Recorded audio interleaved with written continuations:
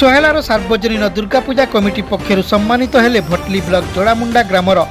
উত্তম আয়ুর্বেদিক চিকিৎসক কালিয়া বরিয়া সোহেলার চাল সার্বজনীন দুর্গাপূজা কমিটি পক্ষর আজ ভটলি ব্লক জোড়ামুন্ডা গ্রামর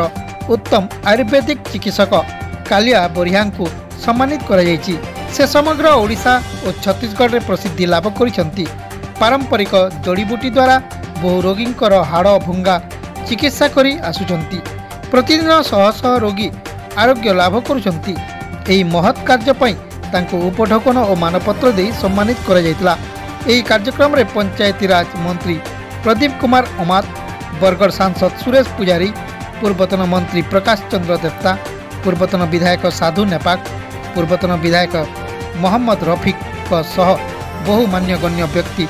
उपस्थित थि